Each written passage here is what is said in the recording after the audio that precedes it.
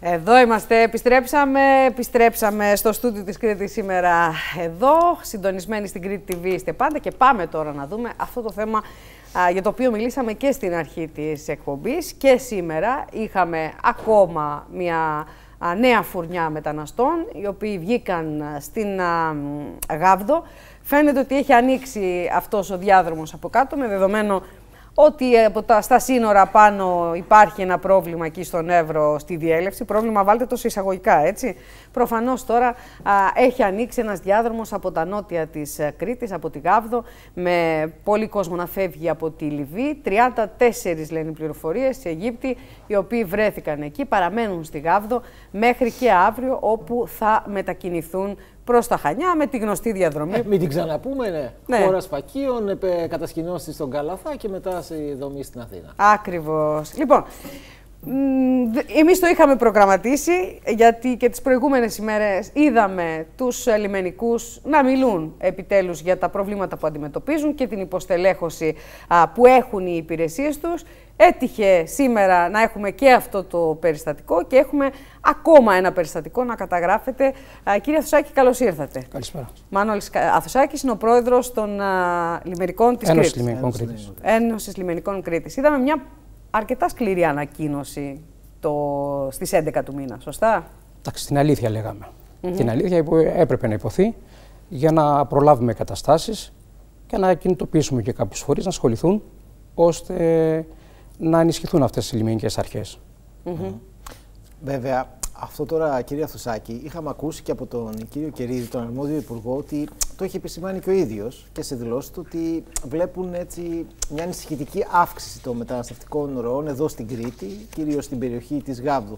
Το θέμα είναι, έχει γίνει κάτι για να ενισχυθούν οι δυνάμεις του λιμενικού; Εντάξει, αυτή τη στιγμή για την ώρα δεν έχει γίνει κάτι.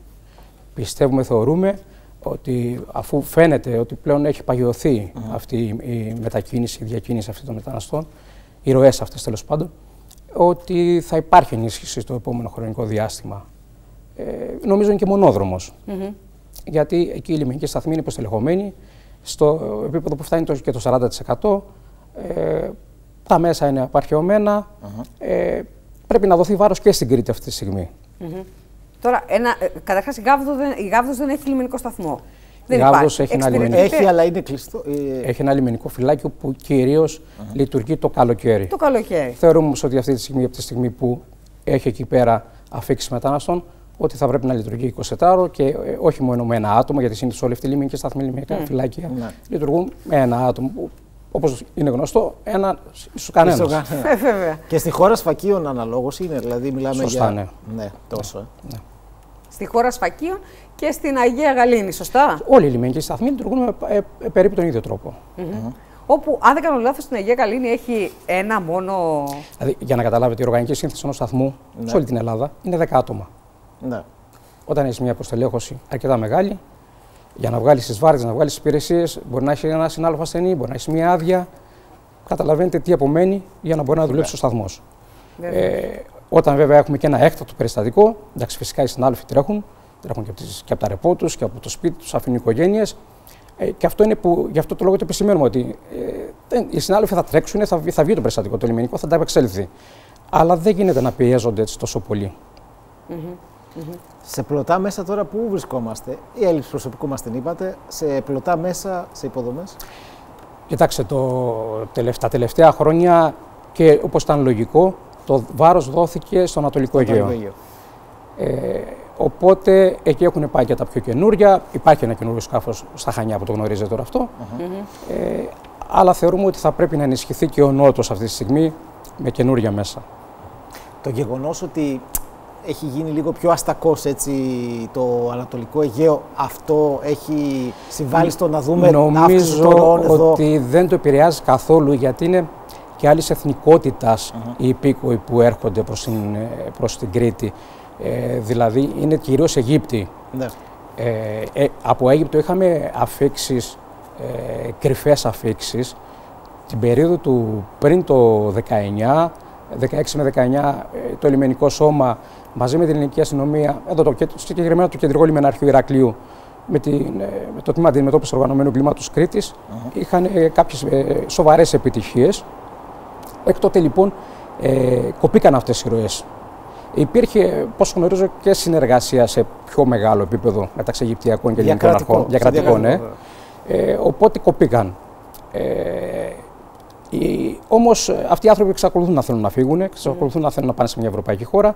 Οπότε όλοι αυτοί οι μετακινούμενοι, ε, μετα, οι μετανάστες αυτοί, μετακινηθήκαν από τότε προς τη Λιβύη. Mm. Απλά τώρα τα δίκτυα επιλέξαν και την Κρήτη. Mm-hmm. Δηλαδή εκτός στην Ιταλία, επιλέξαν και την Ελλάδα. Mm-hmm. Τώρα, βεβαίω, το... το... λιμενικό μπορεί, κυρία Φουσάκη, να, να, να σταματήσει στην ανοιχτή θάλασσα όλο αυτό το, όλο αυτό το πράγμα όλη αυτή η διακίνηση των ανθρώπων; Κοιτάξτε, είναι δύσκολο να κόψει μια ροή και ειδικά όταν οι άνθρωποι αυτοί κινδυνεύουν. Ε, δεν μπορεί να κάνεις κάτι άλλο, τους διασώσεις. Mm-hmm. Και ε, το λιμενικό πάντα διάσωσε ανθρώπους, το κάνει με επιτυχία, ε, το κάνει στο Ανατολικό Αιγαίο. Ο κύριος ε, στόχος είναι και οι δύο είναι στόχοι. Και να περιφρουρήσουμε τα σύνορα και να σώζουμε τους ανθρώπους. Mm-hmm. Όταν κινδυνεύουν οι άνθρωποι, θα τους σώσουμε πάντα. Όταν λοιπόν έχουμε τώρα αυτές τις βάρκες, οι οποίες είναι μέσα σε μια βάρκα στιβαγμένη 40 άτομα, χωρίς οσίβη, χωρίς τα λοιπά, εκεί μιλάμε για μια ιδιαίτερη κατάσταση, το οποίο δεν μπορείς να κάνεις και πολλά πράγματα. Mm -hmm. θέλω να πω και τα πλωτά μέσα που διαθέτει το λιμενικό επαρκούν για, για να μπορεί να περιφρουρήσει όλη αυτή τη θάλασσα ό, όταν νότια. δύο και τρία περιστατικά ταυτόχρονα, ίσως είναι, είναι λίγο δύσκολο και γι' αυτό είναι που ζητάμε και επιπλέον ενίσχυση σε, σε μέσα. Mm -hmm τα οποία όμως θα πρέπει να έχουμε και κόσμο, δηλαδή να έχουν και δεύτερα και τρίτα πληρώματα μέσα. Ε, βέβαια. Δεν αρκεί ένα πλήρωμα που θα το έχουμε έξω 24 και άνω ώρες. Δεν, δεν θα μπορούν να τα ξέρουν. Θα βγει δουλειά, αλλά υπάρχει και ο κίνδυνος να γίνει και ένα τύχημα. Ε, και αυτό είναι που λέμε στο τέλος, ότι να μην κινδυνεύσουν οι συνάδελφοι, να εκτεθούν και να εκτεθεί και η υπηρεσία. Mm -hmm. Να εκτεθεί το λιμενικό σώμα που προσπαθούμε όλοι. Δηλαδή, οι λιμενικοί έχουν απίστευτο φιλότιμο. Αυτό το έχουμε δει βέβαια, κύριε Θουσάκη. Εγώ τώρα, αν ήμουν αλλημενικό, δεν ξέρω, στο μυαλό μου θα είχα ότι αν είχα να επιλέξω, δεν θα πήγαινα στο Ανατολικό Αιγαίο, να σας πω προσωπικά. Φανταζόμουν την Κρήτη ότι θα ήταν πιο ωραίο για να εργαστώ ως λιμενικός. Αλλά μάλλον δεν είναι και ακριβώς έτσι. Δεν είναι ακριβώς έτσι, γιατί ακόμα και στο βορρά, δηλαδή, να σας πω παράδειγμα το, ε, τα πιο τρανταχτά, ας πούμε, το λιμεναρχείο Ρεθύμνου, uh -huh. ακόμα και χωρίς αυτά τα περιστατικά έχει μια ζώνη εκεί, την, ε, την παραλιακή, ναι. σε οποία είναι η ζωή της πόλης. Με πάρα πολλά περιστατικά. Ε, εκεί πάλι υπάρχει πολύ καλή συνεργασία με την αστυνομία, ευτυχώς. Και βγαίνει η δουλίτσα. Αλλά ε, θα πρέπει να ενισχυθεί το λιμενάρχιο. Ή να σας πω ένα ακόμα πιο τρανταχτό παράδειγμα.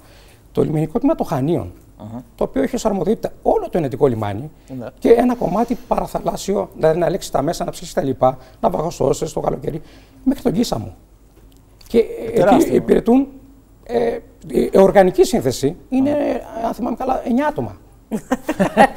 Εντάξει, ενισχύεται, ενισχύεται από τα χανιά. Αλλά όταν υπάρχει ένα άτομο εκεί πέρα, θα πρέπει να είναι αυτόνομο, θα πρέπει να ε, λειτουργεί. Να ξέρει ο διοικητής ότι δυνάμεις έχει να μπορεί να λειτουργήσει, ε, να προγραμματίσει ο ίδιος.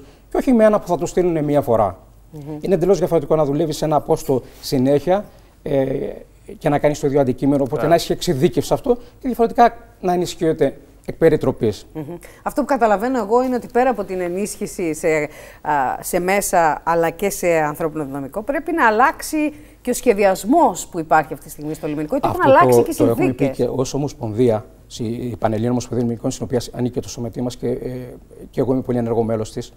Ε, έχουμε πει πολλές φορές το τελευταίο χρονικό διάστημα ότι πρέπει να γίνει μια ανακατανομή των θέσεων. Είχε γίνει κάποια στιγμή μια κατανομή ε, χιλίων επιπλέον θέσεων στο Ανατολικό Αιγαίο ε, και στο, στην υπόλοιπη Ελλάδα δόθηκαν περίπου 500 θέσεις.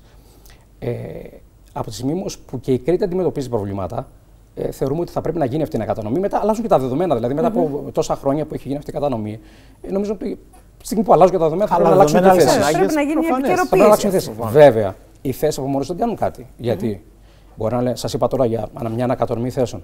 Στο λιμενικό υπηρετούν 8.000 στελέχη, ενώ θα έπρεπε να υπηρετούν 9.500 στελέχη. Και ε, εμείς ως Σωματείο και ως Ομοσπονδία, ε, ο αριθμός που ζητάμε είναι πολύ μεγαλύτερος. Mm -hmm. Δηλαδή, λέμε και για 10 και 10.000, για 11.500 και 12.000 κόσμου. Συγγνώμη. Ε, οπότε, ε, φανταστείτε, οι ανάγκες είναι μεγάλες τους σώματο. Mm -hmm. Όταν λοιπόν, ειδικά τα τελευταία δύο έτη, ε, και ενώ τα θεσμοθετημένο, να γίνουν κάποιες προσλήψεις λιμενοφυλάκων 100 ανά έτος. Πέσαμε στους 52 για φέτος. μαζί με τους υπόλοιπους θα πάρουν κάποιους καπιτανομηχανικού, κάποιους γιατρούς, κάποιες εξειδικευμένες ειδικότητες που χρειάζονται στο σώμα. Δεν φτάνουν ούτε και τις αποστρατείες. Να καλύψουν δεν καλύπτουν ούτε τις αποστρατείες. Yeah.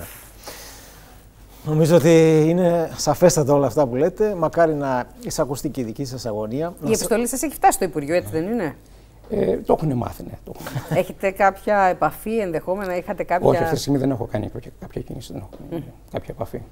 Απλά περιμένουμε. Ένα αναμόνη λοιπόν. Να σας ευχαριστήσουμε πολύ. Ευχαριστώ πάρα πολύ. Ευχαριστούμε πολύ και καλά ξεμπερδέματα.